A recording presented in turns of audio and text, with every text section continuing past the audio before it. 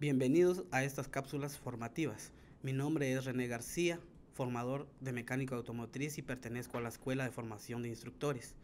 Hoy veremos la aplicación de la función sí.error, fórmula que se encuentra dentro del grupo de las lógicas y para ello tomaremos una hoja de cálculo ejemplificando la gestión de salario de uno de nuestros trabajadores dentro del taller. Lo primero que debemos de hacer es abrir la aplicación de Excel. Veamos. Después de abrir nuestra hoja en Excel, procedemos a ingresar unas operaciones básicas dentro de nuestra columna total bono. Nos ubicamos en la celda y decimos que la mano de obra sea multiplicado por el bono y dividido dentro de 100. Como podemos notar, aquí nos muestra un error.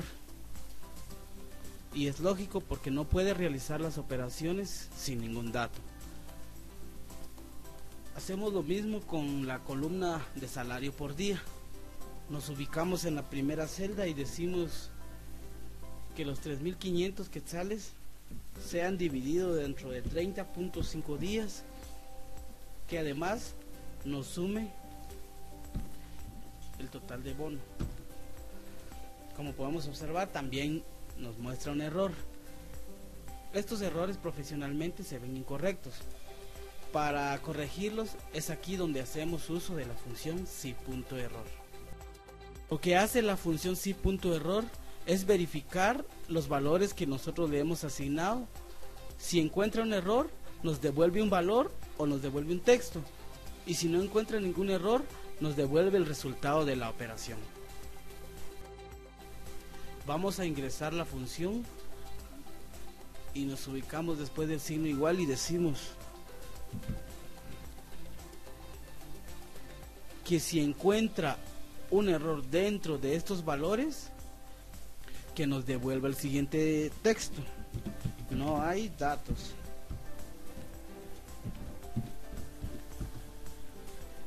Vamos a hacer lo mismo con esta otra columna.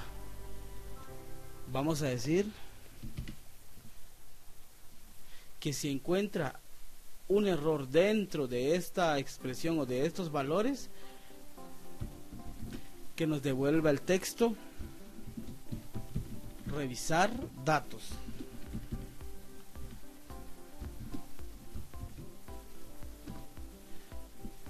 Como podemos observar, ahora nos muestra estos resultados porque obviamente no encuentra ningún dato para operar.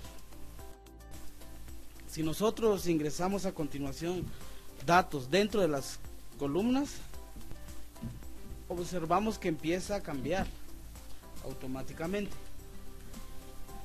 Esto nos quiere decir que no ha encontrado ningún error dentro de esta expresión, por lo tanto nos devuelve el valor. Ahora lo que vamos a hacer es copiar la fórmula para todas las celdas y vamos a llenar de datos como ejemplo para ver qué ocurre. Con fines de enseñanza aprendizaje vamos a copiar todos estos datos para verificar. Si observamos pues en esta columna se están cumpliendo todos los eh, criterios entonces nos está devolviendo el valor. Veamos lo que sucede con esta otra columna nos dice revisar datos, pero ¿qué está pasando si ya tenemos datos aquí, datos aquí, datos aquí? ¿Qué es lo que está sucediendo? Veamos. La celda que está arriba está basando su operación en F8, que son los 3500. Y la siguiente celda está basando su operación en F9. Y en F9 tenemos una celda con textos. Por esa razón es que no puede realizar su operación. Entonces lo que nosotros debemos de hacer es corregir esto. Nos ubicamos en la celda de arriba y para mantener el formato utilizamos el símbolo de dólar. Y a continuación copiamos la misma fórmula para todas las otras celdas y vemos que ya se corrige automáticamente. Cuando nos hace falta algún dato dentro de alguna de las columnas, La función si.error nos devuelve el texto que le hemos asignado. En este caso no hay datos y revisar datos.